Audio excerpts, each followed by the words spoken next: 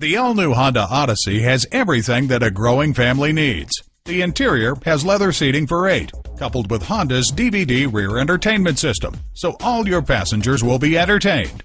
For the vehicle that will have the whole family thanking you. There's no better place to buy your next new or used vehicle in the Bay Area than at San Leandro Honda. Visit our virtual dealership at www.sanleandrohonda.com. While you're there, check out our Bay Area Honda clearance. Receive top dollar for your trade in. Save thousands of dollars. Come to the Bay Area's best location, San Leandro Honda, for quality vehicles and sale discount pricing.